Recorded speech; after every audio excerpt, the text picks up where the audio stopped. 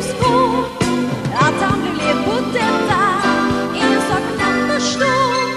Men en mörk kylaftonkväll